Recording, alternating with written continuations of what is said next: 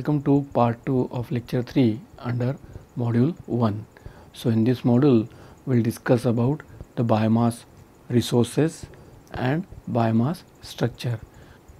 Let us first discuss about what is meant by biomass.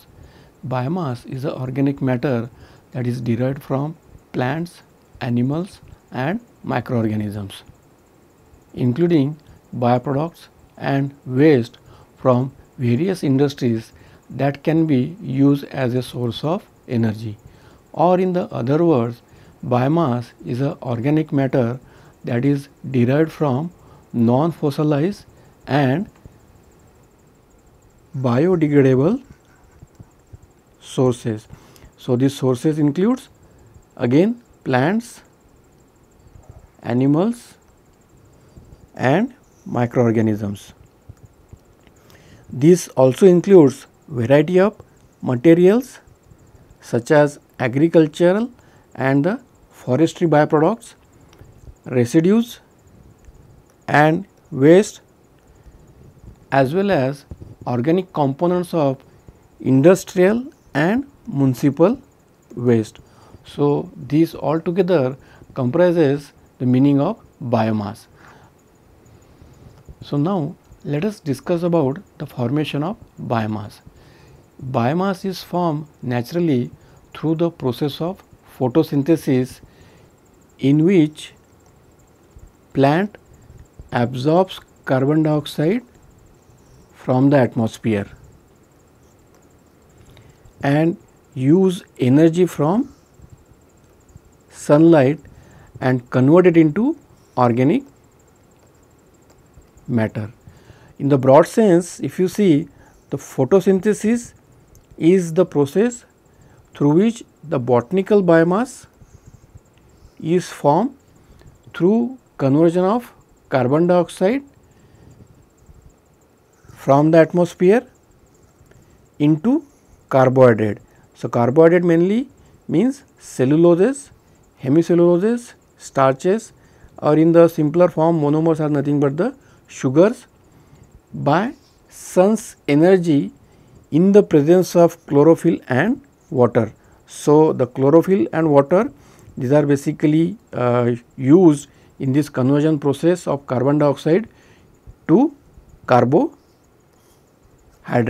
So, the general representation schema of photosynthesis process is shown here in which carbon dioxide is converted into carbohydrate by sunlight that means sun's energy which is also called as a radiant energy. In presence of water and chlorophyll which is integral part of the botanical biomass. So, through this photosynthesis process it converted into carbohydrate and this process also results in net gain of oxygen that means it also produces oxygen along with the carbohydrates. So, now if you try to see the stoichiometric representation of the photosynthesis scheme. So, here 6 moles of carbon dioxide convert into organic matter or we would say here the carbohydrate So, here we have represented carbohydrate in the form of the glucose molecule and along with this carbohydrate it produces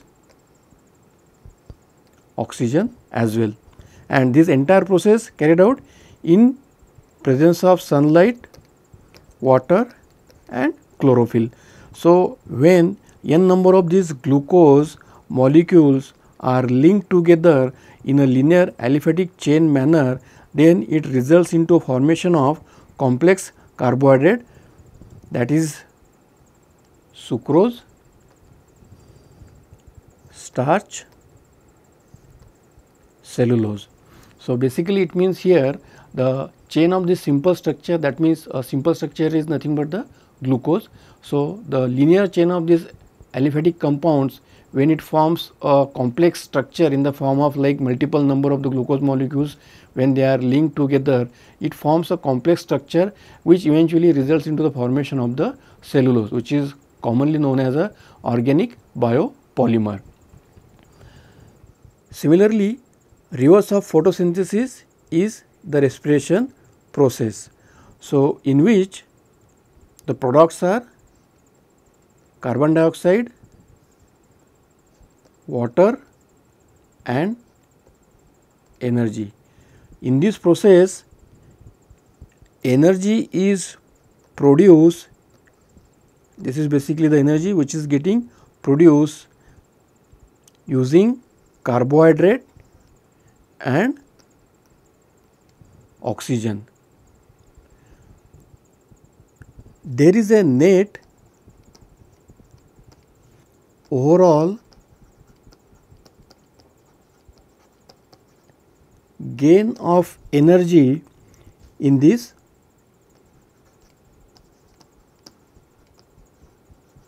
in this process. Because if you see here as the rate of energy loss in respiration is much less compared to the net energy gain during the photosynthesis process here. And this process also results in the net gain of oxygen by fixing carbon in the form of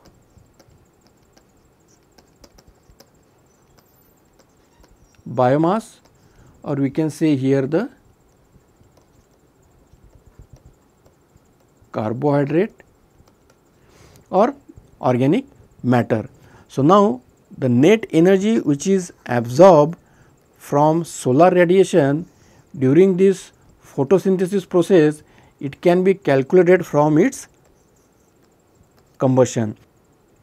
So, basically here we are representing respiration as a combustion process which is basically reverse of the photosynthesis process here because conventional combustion process require relatively higher temperature say around like 400 degrees C or even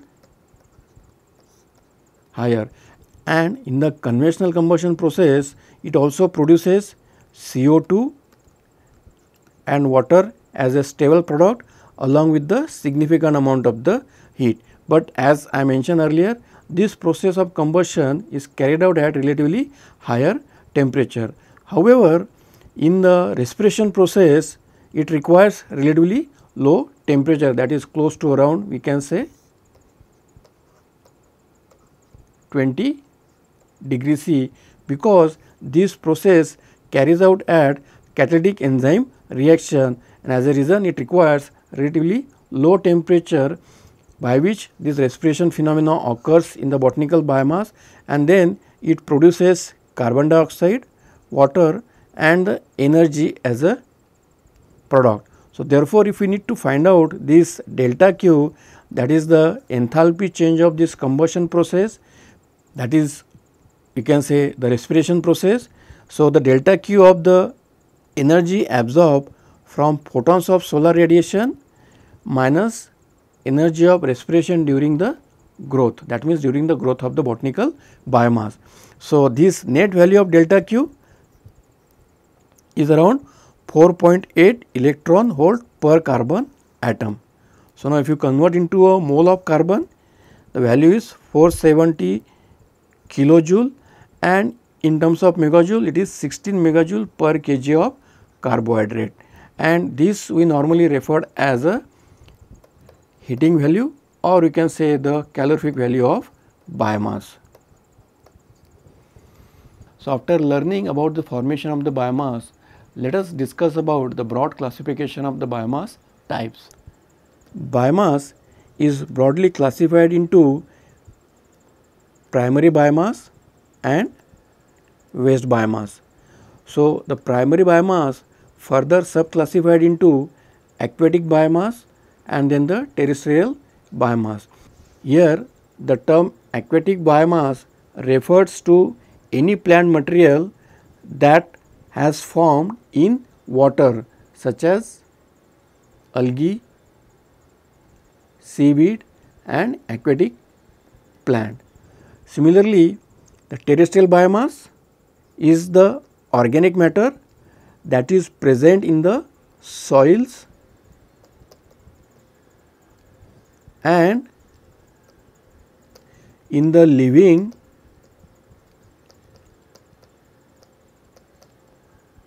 plants of the earth's land ecosystem and example here are like forest biomass, grasses, energy crops and cultivated crops. Similarly, the waste biomass has been subclassified into agriculture solid waste, industrial waste, forestry residues and municipal waste. So, here the agriculture solid waste includes livestock manures and agricultural crop residue. So, basically the crop residue which are left over after harvesting the crop these are termed as the agricultural crop residue. And the industrial waste includes demolition wood and sawdust which we can say the byproduct of timber production. So, this particular waste can also be act as a very good source for the energy production. Apart from that the waste oil, fat which are majorly the byproduct of the food processing industries can also be utilized for the energy production. While the forest residues include wood, bark, leaves and floor residues. So, here the wood, bark and leaves includes nothing but the old branches or you can say the fallen branches from the trees, the leaves and the bark. These are considered as the wood material from the forest residues as well as the floor residues of the forest can be utilized for the energy production. Apart from that the municipal waste it includes the municipal solid waste, biosolids and sewage sludge which is obtained from the uh, this particular waste. Sewage sludge can also be act as a good source of energy. So, after learning about this broad classification of the biomass type, let us discuss about these biomass resources. So, the biomass resources include a wide range of materials that are utilized as a biomass resource for the energy production including those from forestry, agriculture, aquaculture as well as the organic waste and residues produced by industrial and the societal activities which mainly includes the food processing and the urban refuse.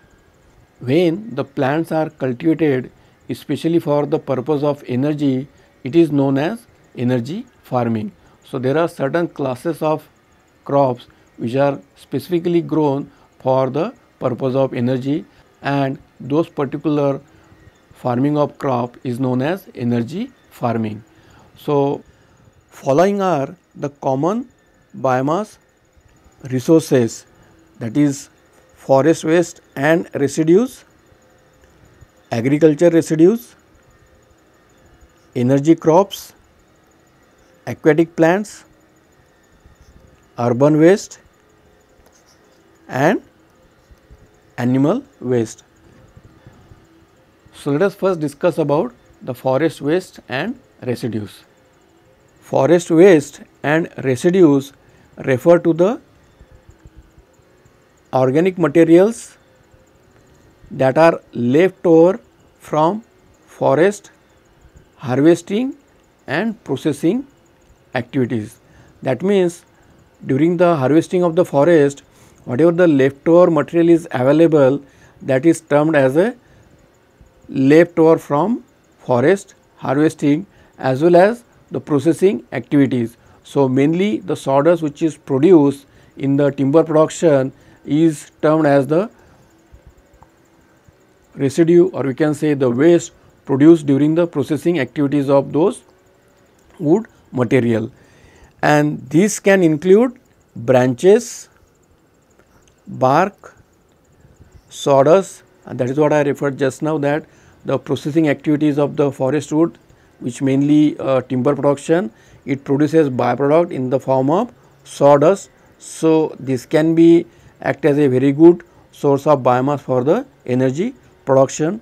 along with the wood chips and other woody materials that are not used for the timber production. So, this kind of material can be utilized in a various ways and one of the application of this kind of material is for the energy production. Similarly, the agricultural residues are referred to the various types of the organic materials which are mainly again left over from the agricultural production after the crop or the agricultural products have been harvested. So, it means here the whatever the leftover is available after harvesting the crop.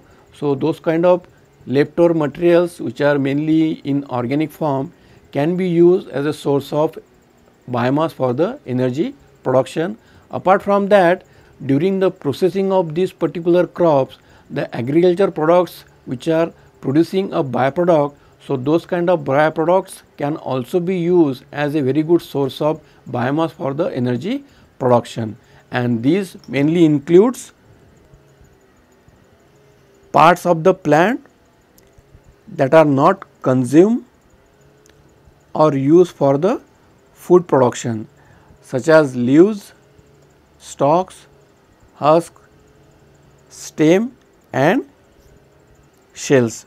So, the agriculture residues can come from wide range of crops like rice, wheat, corn, sugarcane and many others. And these residues can be used for various purposes including as the animal feed and as a source of biomass for the energy production. So, the leftover of the agriculture crops can be a very good source of biomass for the energy production. Apart from that, when this particular crops undergoes certain processing stage, so the byproduct of those particular crops for example, in the form of the rice husk, it can also act as a very good source of biomass for the energy production. Apart from that, the rice straw, the wheat straw, these are nothing but the leftover after the harvesting of the biomass. So, this kind of materials act as a very good source of biomass for the energy production. Although this particular material can also act as a very good animal feed, but the material which is not being used for the consumption purpose, that particular material can be diverted as a source of biomass for the energy production. So, the next in the list is the energy crops. So, energy crops are a type of crop that is specifically grown and harvested for the purpose of producing biofuels or generating the energy. The reason is like this kind of crops are typically fast growing and high yielding crop and these crops can be cultivated on a larger scale if required. So, that is the advantage of the energy crops. The cultivation of energy crops can provide a sustainable and renewable source of energy because this kind of crop can be cultivated and harvested on a regular basis as and when required. That is what is the advantage of cultivating the energy crops. Unlike non-renewable fossil fuels or we can say fossil resources. Additionally, the use of energy crops can also help in reducing the greenhouse gas emission as they absorb carbon dioxide from the atmosphere during the photosynthesis process. As I mentioned earlier, these are typically fast growing and the high yielding crops. So, these crops helps in reducing the greenhouse gas emission because they will absorb carbon dioxide from the atmosphere during the photosynthesis process or we can say during their growth phase.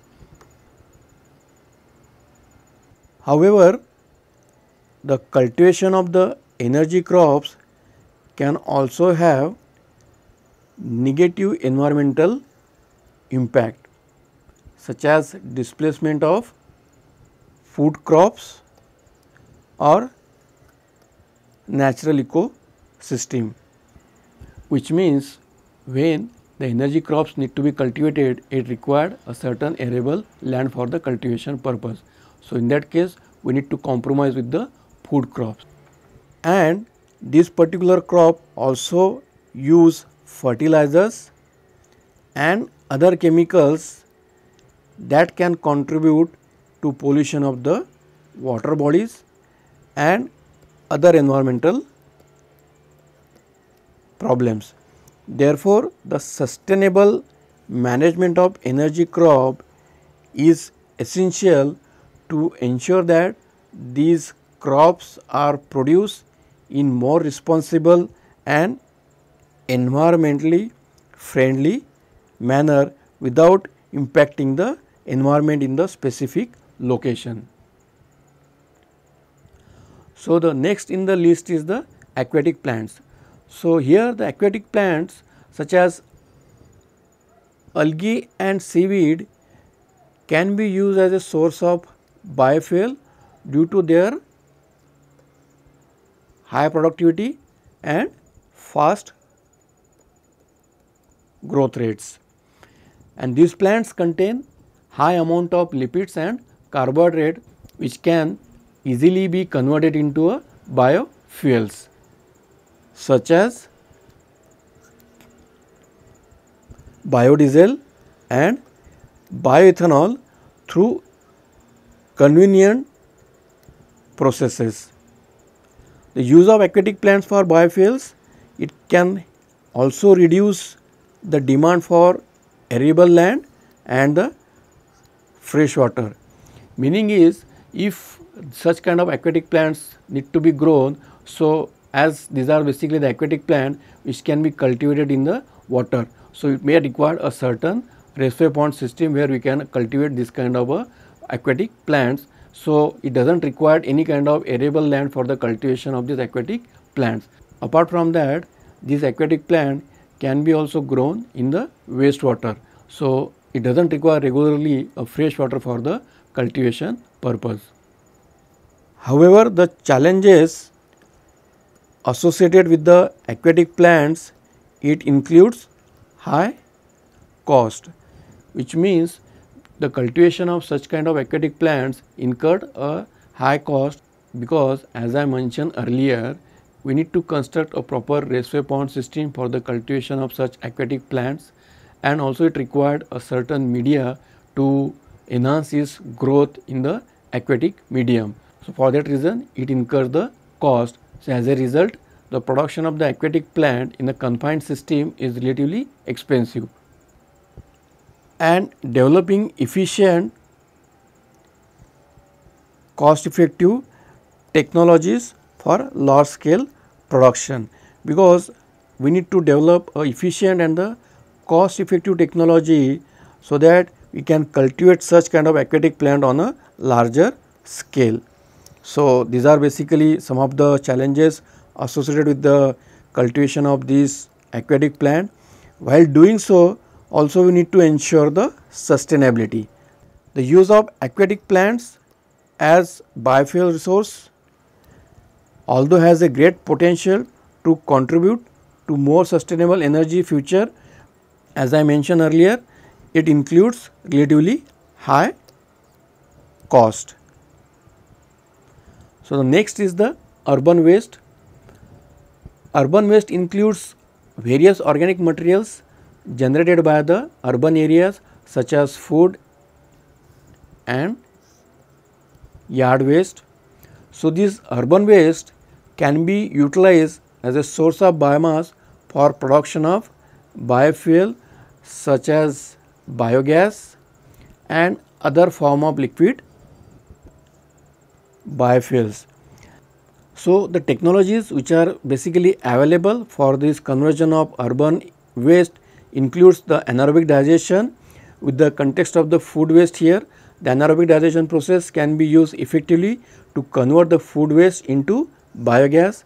Similarly, the gasification and the pyrolysis with the context of the yard waste can be used effectively to convert into suitable biofuels. So, the yard waste here includes the leaves, barks or the old or the fallen stem of the trees these are basically referred as the yard waste. The best utilization of the urban waste as biofuel source can also help in reducing the waste and reducing the environmental pollution and contribute towards the transition towards more sustainable and renewable energy system. The practice of proper management of this urban waste such as separation and recycling are really essential to ensure that the sustainable utilization of the urban waste as a source of energy is happening. This particular urban waste is classified into following two types that is municipal solid waste and then the sewage sludge. So, the next in the list is the animal waste. So, here the animal waste refers to the organic materials produced by animal and mainly we can say the manure which are either liquid, slurry or in the solid form. And this animal waste can be effectively utilized as a source of material for generating the energy majorly biogas or apart from that other forms of biofuels also can be produced from this kind of manure, but majorly as I mentioned is the biogas. The technology which are available for such kind of waste are anaerobic digestion. So, by this technology we can efficiently convert such kind of animal waste into energy majorly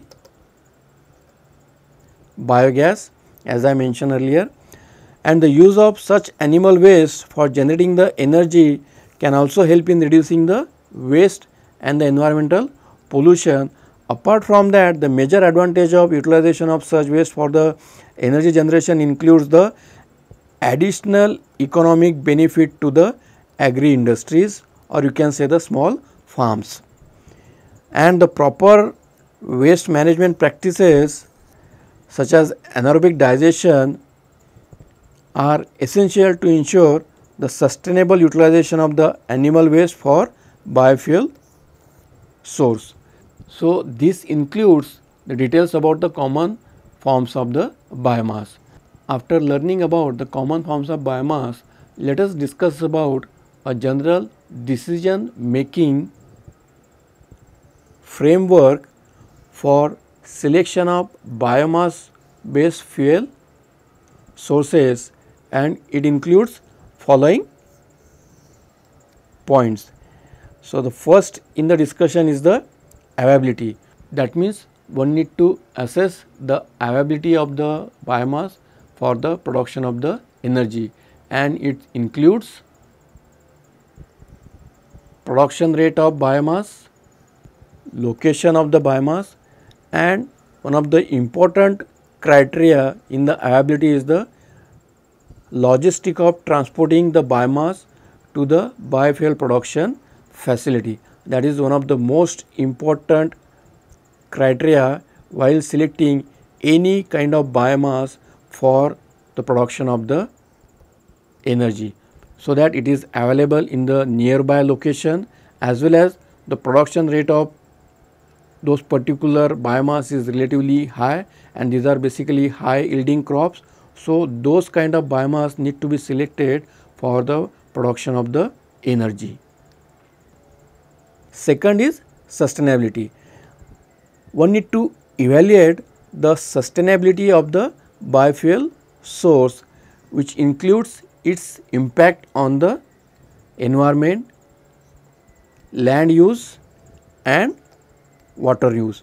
So, based on that specific biomass source need to be selected so that it does not have any negative impact on the environment, the land use and water use. It does not require excessive water for the cultivation purpose and as the crops are high yielding and fast growing. So, much area of the land is not getting occupied during this cultivation. So, that is basically the meaning of this sentence here and also need to consider the life cycle greenhouse gas emission of the biofuel source. This is one of the important criteria while selecting the specific biomass for the energy purpose. And the economic viability is the another important uh, parameter here because we need to analyze the economic viability of the biofuel source as well which includes the cost of the production. That means the biomass source which is being considered for the energy purpose is not having a high cost for its cultivation that is the meaning of this. Apart from that the potential revenue from the sale of the biofuel should be substantially high and any government incentives and the subsidies need to consider while analyzing the economic viability of the specific biofuel source. Technological feasibility in the sense is like we need to consider the specific technology which is highly efficient and effective for converting the selected biomass material into usable fuel. That means as I mentioned we need to evaluate the efficiency and the efficacy of the specific process. Similarly, the process should be scalable for the large scale production. So, based on that a specific technology need to be selected for the conversion of biomass into usable biofuel. Social and the political factors these are very important and that may impact the selection of the biofuel source because it includes the public perception, acceptance of the community because the community should be aware about such kind of biofuels which can be used for the energy purpose and obviously the government regulations also need to be taken into consideration while producing such kind of uh, biofuels using selective biomass as a source.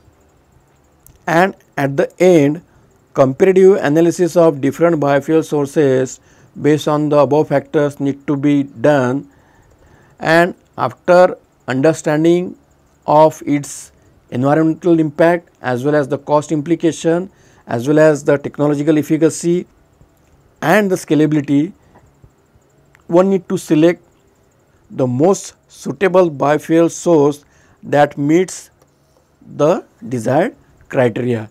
So, these are basically some key points which need to be considered while selecting a biomass as a source for the energy purpose. So, now after understanding about the biomass resources and then its selection criteria, let us discuss about the biomass structure. The biomass structure mainly consists of extractives, cell wall components and ash. So, in that cell wall component mainly consists of cellulose, hemicellulose and lignin and the structure of cellulose, hemicellulose and lignin are shown here on the screen. So, now let us discuss about these component of the biomass structure one by one. So, here the extractives refers to substances found in the animal or plant tissues that can be separated by series of solvent extraction. That means, here the extractives are mainly refers to substances which are found in the plant and animal tissues that can be separated by series of solvent extraction and at the end of the extraction process the specific solvent can be recovered by evaporating this particular solvent and the solid extracts left over is called as a extractives from the specific source. Example of the extractives include lipids and hydrocarbon such as terpene which are basically soluble in ether as well as the various types of phenolic compounds, carbohydrates and proteins which are soluble in water, alcohol or benzene. These soluble components are collectively known as extractives and the example of the phenolic compounds is shown here on the screen. Similarly, ash here refers to the inorganic fraction of biomass which typically makes up a small proportion of biomass. These inorganic constituents consist of the element that are vital for the plant growth. So, the next is cell wall components. The cell wall basically provides structural support to the plant enabling it to stand upright without any external support and that is what is the purpose of the cell wall in the biomass structure because if you see uh, generally the leaves and the bark contain the fewer cell walls but more extractives than wood and the woody tissues because wood and the woody tissues contain more cell wall than that of the bark and the leaves. As a result, leaves and the bark may not have more strength, but wood and the wood tissue has more strength compared to that of the leaves and the bark because wood and the wood tissues contain more cell wall material. Typical cell wall is composed of carbohydrates and lignin and carbohydrate here includes cellulose and hemicellulose and these carbohydrates it imparts structural strength to the plant materials. The lignin serves to hold these fibers together.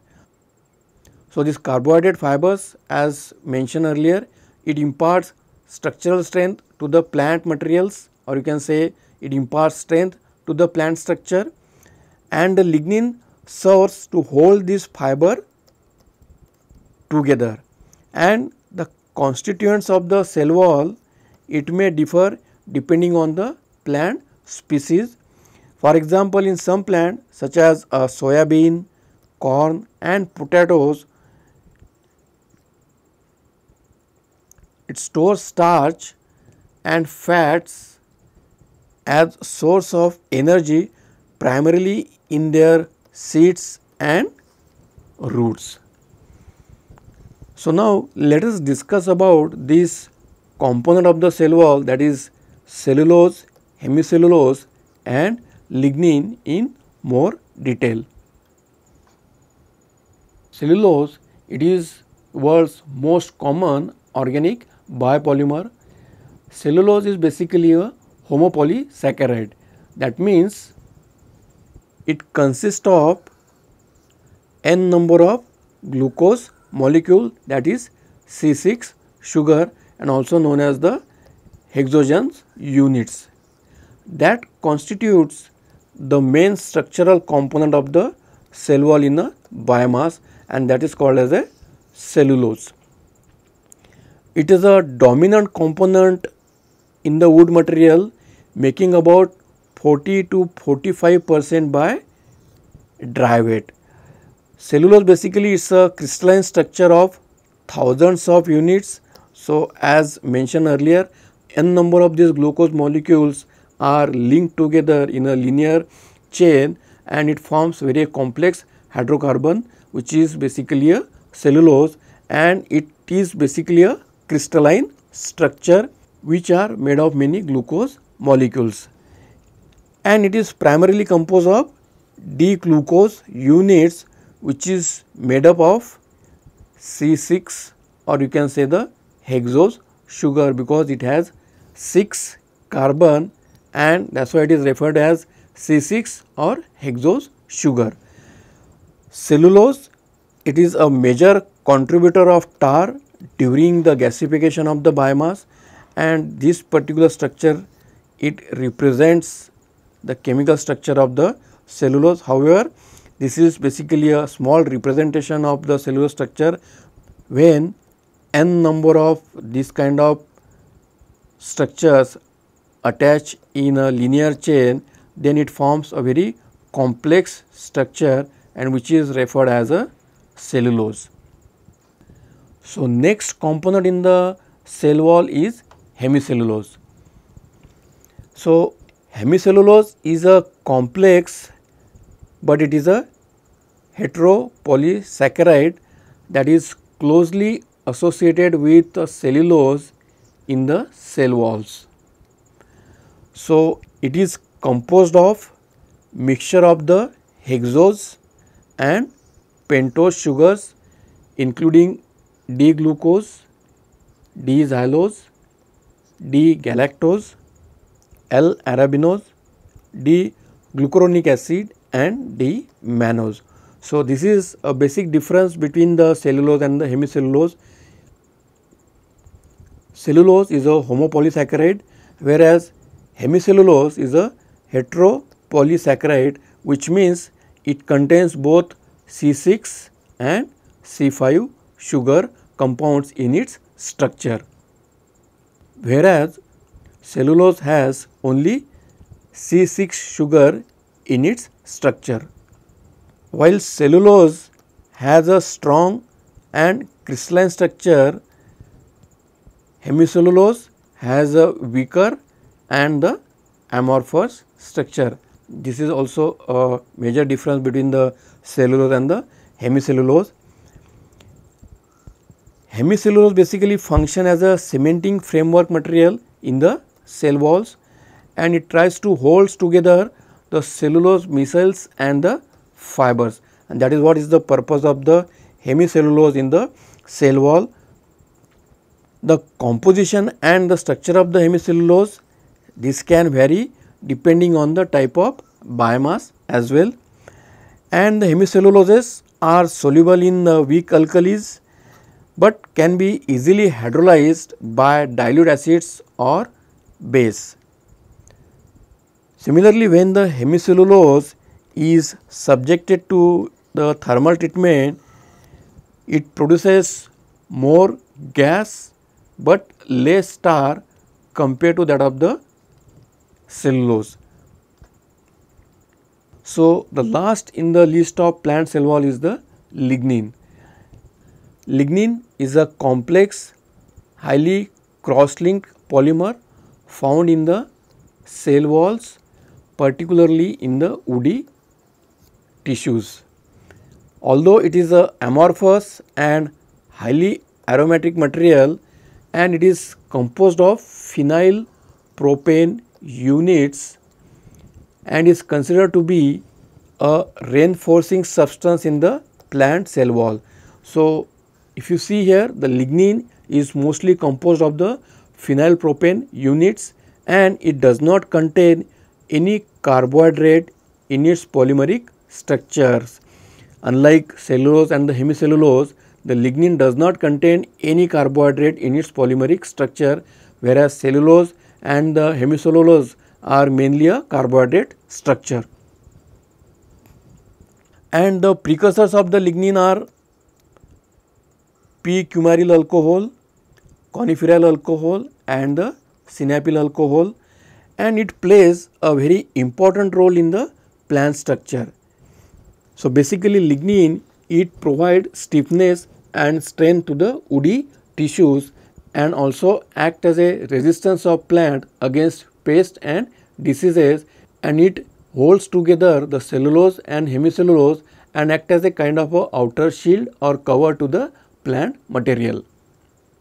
Softwood lignins are mainly a polymerization product of coniferyl alcohol and are called guaiacyl lignin and its fraction varies between 25 to 35 percent in the plant matrix. Similarly, the hardwood lignins are mainly syringyl and guaiacyl lignin which are copolymers of coniferyl and the sinapyl alcohol and usually have a lignin content in the range of 18 to 25 percent. So, this together describes about the cell wall component in the biomass structure mainly cellulose, hemicellulose and lignin. So, with this we will end our lecture here. So, in the next lecture we will discuss about environmental aspects of energy, utilization of conventional energy resources and their importance. Regarding this lecture, if you have any doubt, feel free to contact me at vivgaud at the rate iitg.ac.in. Thank you.